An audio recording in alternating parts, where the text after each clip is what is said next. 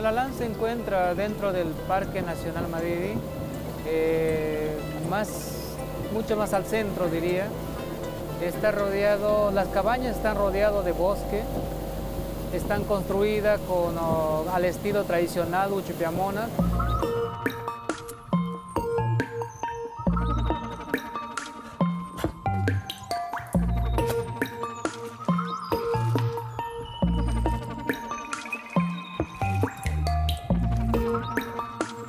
Para hacer este emprendimiento nace a raíz del, espacio de, de, vivir dentro de un área protegida. ¿no? Y la idea también nace eh, para demostrar eh, al Estado boliviano de que nuestro territorio como TCO de mi comunidad eh, tenía que mostrar al Estado eh, de qué manera está cumpliendo una función social.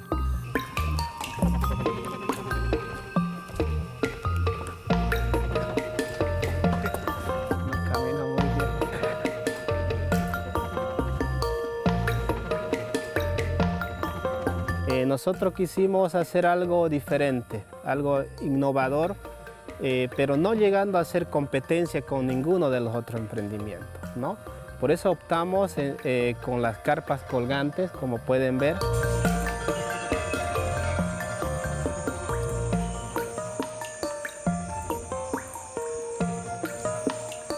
El Parque Nacional Madidi es el área protegida de mayor relevancia ecológica y biogeográfica de Bolivia. Ubicado en el noroeste del departamento de La Paz, abarca unos 19.000 kilómetros cuadrados.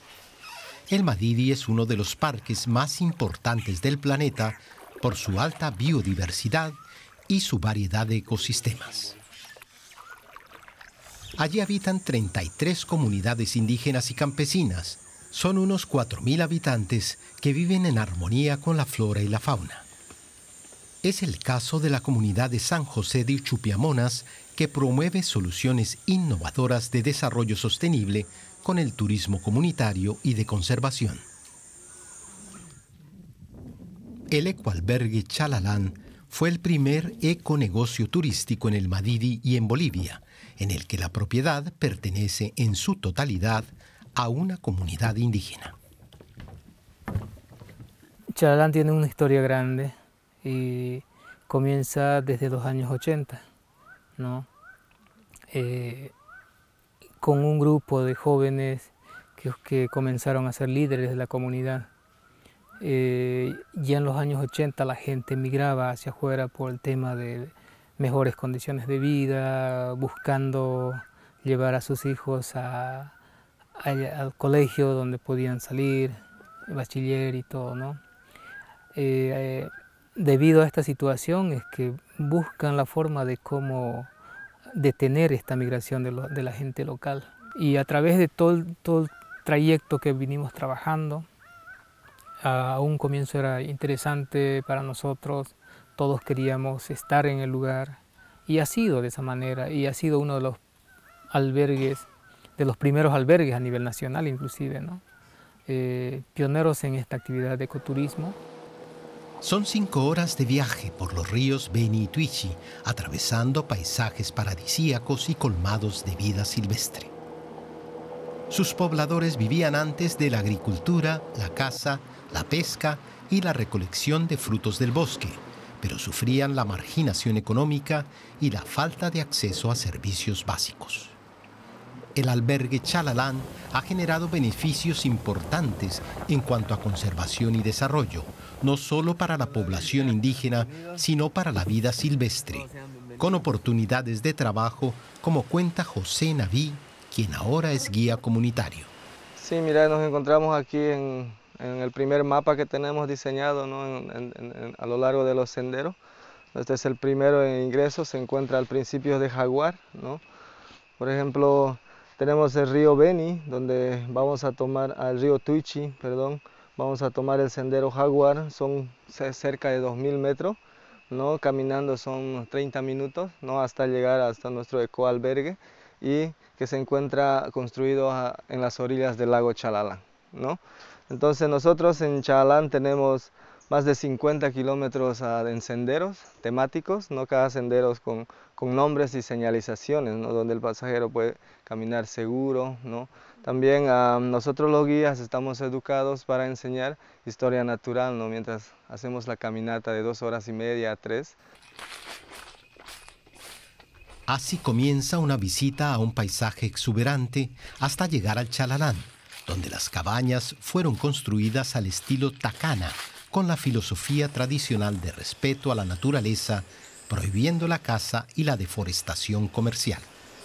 Este se pensó en ese detalle, ¿no? Para poder preservar el área, pese a que eh, el lugar estaba ya depredándose con cazadores y todo, pero justamente esta, esta albergue se construyó para poder preservar y conservar el área. Entonces se diseñó las cabañas al estilo tradicional de San José de Chipiamonas, eh, está construida con maderas locales. Las paredes con la chonta, es una palmera. Eh, los techos, es también otra palmera que es la jatata, eh, están bien elaboradas. Y la misma arquitectura que tiene, ¿no? es del lugar. Entonces aquí mostramos inclusive lo cultural mismo de nosotros a todos los que nos vienen a visitar. El albergue ecológico fue construido a orillas de la laguna Chalalán. Tiene senderos temáticos a lo largo de 30 kilómetros de bosque. Los guías comunitarios explican sobre las intervenciones de conservación que ayudan a identificar a las aves, mamíferos, anfibios, insectos y plantas como la palmera que camina. El idioma de nosotros es.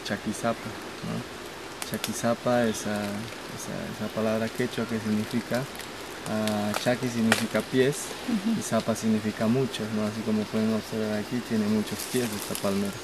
¿no? Entonces eh, en inglés es el walking palm tree, que significa el árbol que camina, ¿no? el árbol caminante.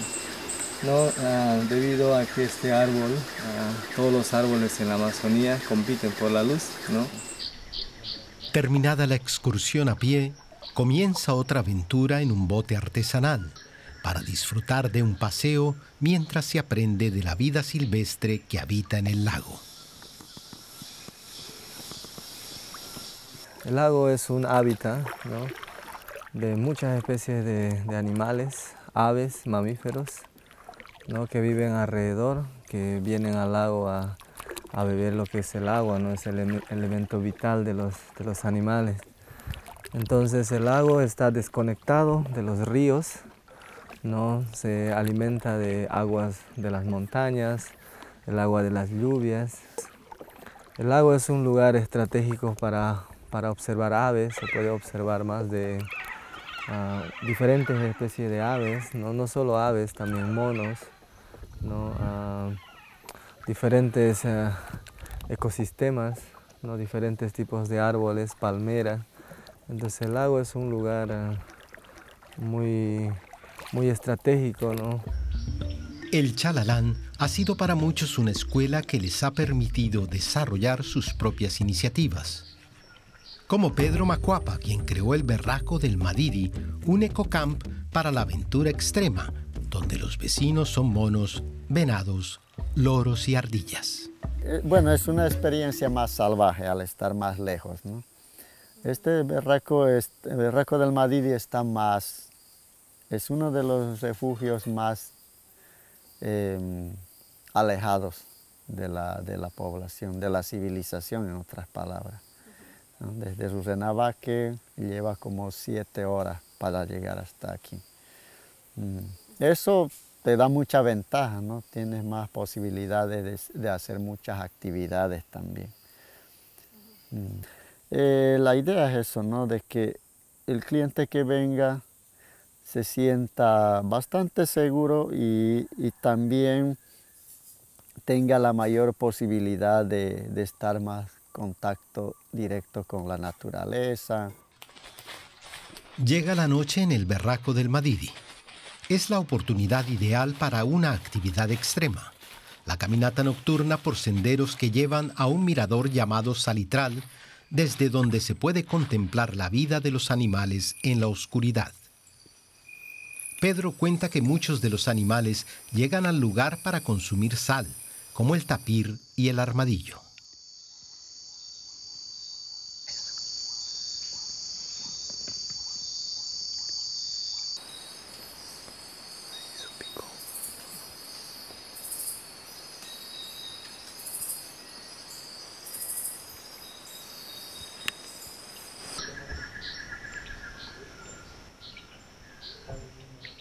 El Servicio Nacional de Áreas Protegidas desarrolló una expedición en 2018 que ha situado al Madidi como el área protegida más biodiversa del mundo, con más de 5.500 especies de plantas, 1.800 especies de mariposas, casi 400 especies de peces, cientos de especies de anfibios y de reptiles, 1.000 especies de aves y 200 especies de mamíferos. El verde oscuro representa el Parque Nacional y el verde medio claro es el área natural de manejo integrado. En este verde oscuro es el donde es más la protección estricta, donde no puede haber actividades, donde no se puede realizar actividades solamente investigaciones científicas, por lo cuanto hay, ¿no? Pero en este verde claro siempre hay comunidades, porque estas comunidades han estado asentadas desde antes de la creación del parque. Entonces por eso se los reconoce los usos y costumbres, ellos normalmente hacen sus actividades. Dentro de las actividades que se pueden hacer en armonía con la naturaleza están la pesca con devolución, talleres de habilidades de supervivencia y el tradicional rafting en Cayapo balsas artesanales que los indígenas utilizaban antiguamente para viajar por el río.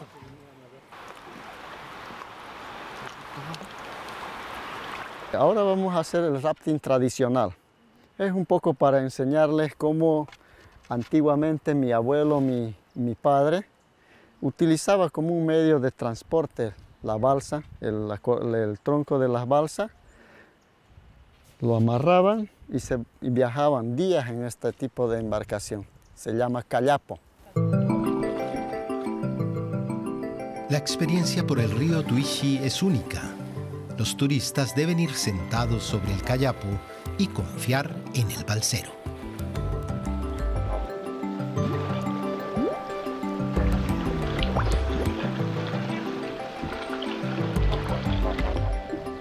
Además de la aventura, la alimentación con productos orgánicos es otra de las propuestas para los visitantes. Rosa Macuapa es la cocinera del Berraco del Madidi. Hoy prepara sopa de chipilo, que tiene como base el plátano verde, un alimento tradicional de la región. Bien crocante, ¿no? De ahí sale la, harina. Como lo molemos, con vamos a moler luego en el tacú. Y ahí ya lo, lo vamos a hacer un poco más de harina, ¿no? Va a quedar... Primero hay que tostarlo. Primero hay que tostarlo, ¿no? Este, lo vamos a, Así se lo va picando, ¿no? El platanito delgadito. sembrado así, no tiene ningún químico, no es natural. Luego de cocinar durante una hora a fuego lento, el caldo está listo para ser servido.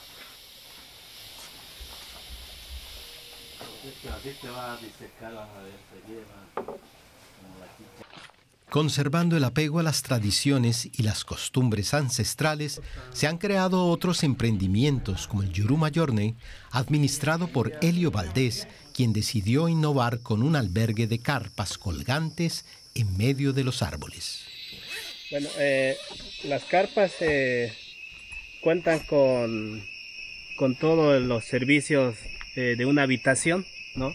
Eh, cuentan con sábanas, eh, almohadas, eh, frazadas, ¿no? Donde el, cliente puede descansar. En la selva del Madidi, cada albergue ecológico tiene claro que no está en competencia con los demás proyectos y por eso se ofrecen servicios diferenciados. nosotros quisimos hacer algo diferente, algo innovador, eh, pero no llegando a hacer competencia con ninguno de los otros emprendimientos, ¿no? Por eso optamos eh, eh, con las carpas colgantes, como pueden ver, es, una, es una oferta muy, muy diferente y obviamente que las carpas son muy, muy cómodas, ¿no? Entonces usamos los árboles para poder eh, establecerlos, ¿no? Eso sería las habitaciones. Para Helio, el turismo es un aliado para generar empleo e ingresos económicos para las comunidades indígenas y así evitar la migración y el abandono de los pueblos. Siempre traemos eh, gente para hacer las actividades de trabajo de construcción o de mejoramiento de sendero. Siempre traemos gente de la comunidad o, del pueblo de San José. ¿no? Entonces, si nosotros generamos actividad económica a través del turismo, también beneficiamos a las familias, ¿no? Y las familias siempre eh, eh, también diversifican las actividades a otras, a, otras actividades productivas, ¿no? Si no tenemos el turismo, obviamente no podemos eh, generar beneficios multiplicador dentro del rubro. Los emprendimientos de la comunidad de San José han logrado adaptarse a las normas ambientales y establecer la titulación y ordenamiento jurídico del actual territorio indígena originario campesino, fundamental para establecer los ecoemprendimientos. Para hacer este emprendimiento nace a raíz del, espacio de, de, vivir dentro de un área protegida, ¿no? Y la idea también nace eh, para demostrar eh, al Estado boliviano de que nuestro territorio como TCO de mi comunidad eh, tenía que mostrar al Estado de qué manera está cumpliendo una función social. Lo mismo con el tema de las maderas. Por lo general no podemos cortar porque eh, bueno, estamos dentro de un área protegida. Hay ciertas cosas que tenemos que, cumplir, ciertas normas que cumplir y ciertas cosas que no podemos hacer, porque estamos haciendo eh, en beneficio o en mero a la conservación. Las poblaciones locales que habitan las áreas protegidas conservan conocimientos importantes que son aplicados para la preservación de los bosques y su hábitat, como resalta este investigador del Centro de Documentación e Información de Bolivia. La actividad turística en general en el área ha surgido por sí misma, o sea, por iniciativa. Yo le digo, los grandes proyectos que había no funcionaron, entonces son fenómenos ya locales, ya surgir por su propio esfuerzo y contra los obstáculos que le pone el Estado. Entonces, eh, ellos tienen mucho que enseñar y para replicar en el resto del país, porque estas comunidades de todos modos siguen defendiendo esta zona. Y si tenemos áreas protegidas en el país, es básicamente gracias a ellos. O sea, hemos tenido 15, ya van 15 años de ataques contra el medio ambiente y las áreas protegidas. ¿Por qué le digo 15 años? Porque este periodo de 15 años se inició el 2006 con el cierre del Ministerio de Medio Ambiente. Con las nuevas iniciativas ha mejorado la calidad de vida en la región, capacitando a los jóvenes y ofreciéndoles nuevas perspectivas. Hasta hace algunos años las comunidades no tenían luz y tampoco vías de comunicación. Las personas ya tienen luz, ya es más alumbrado, ya no andan con, con mechero, ¿no? Como se dice, ¿no? Con el mechero tradicional, entonces ahora ya llegó la luz, está muy diferente, ya algunos tienen un poco más para guardar su carne, sus verduras, sus frutas, ¿no? Entonces también ya tienen un poco de comunicación, ¿no? Porque más antes era muy difícil de comunicarse, ¿no? Nos comunicamos por radio y ahora ya llegó la, la señal y entonces ya es más fácil, ¿no? Siempre para una emergencia. Chalán nos ha abierto las puertas, nos ha ayudado, entonces gracias a ello también hemos podido aprender algunos, ah, algunos idiomas, ¿no? para un guía es importante. Entonces, eh, gracias a eso, ah, no hemos podido ah, superar un poco, ¿no? yendo a, las escuelas, preparándonos con talleres, capacitaciones, quizás no hemos ido a la universidad, pero nos hemos capacitado de una u otra manera, ¿no? al nivel profesional que tenemos hasta este momento. Cada año, el turismo moviliza a miles de personas hacia Bolivia y produce un gran impacto económico, pero los emprendedores demandan más apoyo del gobierno para la llegada de visitantes extranjeros. Siempre nos vemos desfavorecidos ¿no? por un ente, digamos, del gobierno, ¿no? el Viceministerio de Turismo, el, el gobierno nacional, no enfocado en realidad eh, directamente a la reactivación de la economía a través del turismo. ¿no? Y ese es uno de los factores que nos, que nos impide a nosotros poder seguir desarrollando o poder seguir haciendo esta actividad. Hemos ido luchando nosotros constantemente, eh, buscando la forma de cómo el gobierno nos puede apoyar pero no hay un apoyo que nos llegue al sector turístico, ¿no? ni, a, ni a los sectores de empresas turísticas comunitarias tampoco. Según el registro de CERNAP, entre 2016 y 2019, el flujo anual de turistas al Madidi fue de entre 8.000 y 10.000 personas, pero en los últimos dos años, debido a la pandemia, se redujo en un 70%. Los pocos turistas que llegan quedan cautivados. Ha sido una experiencia increíble, ¿no? Yo creo que este viaje no lo voy a poder olvidar porque he conocido animales que no pensé que existían, lugares hermosos como el lago de Chalalán, hemos logrado ver al caimán, el armadillo gigante también, hemos visto diversos tipos de plantas, ¿no? Que diversos tipos de vida que hay acá en, el, en la Amazonía que nos conectan con la naturaleza. Para ingresar al Madidi hay que llegar a Rurrenabaque, con transporte público o a través de una agencia de viajes. El ingreso a la selva debe hacerse necesariamente con un guía turístico. El tour cuesta entre 50 y 150 dólares por día, con hospedaje incluido. La única forma de ingresar es navegando por los ríos Beni y Tuichi. Bueno, en la embarcación tenemos todo seguro, tenemos salvavidas, tenemos, contamos con todo equipo de, para transporte para transporte turismo. Todavía yo he visto que mi papá trajinaba en la balsa. Y por eso también me gustaba manejar a mí la balsa. Y me ha servido de harto y ahora manejo esta embarcación. Sí, en temporada baja, ¿no? Es un poco peligroso tener mucho cuidado con el motor. Y en temporada de agua igual. Eh, a partir de enero, febrero, marzo son las, las lluvias más donde no se puede caminar casi normal con el fuera de borda. La energía utilizada es solar las basuras son separadas y clasificadas, los residuos orgánicos se convierten en abono y los inorgánicos se trasladan fuera del área protegida. Para los pobladores, el turismo sostenible no es solo una forma más de hacer turismo, sino la única manera de hacerlo viable en el tiempo. La totalidad de los ingresos benefician a la comunidad se reinvierten en proyectos de primera necesidad enfocados en salud, educación y desarrollo.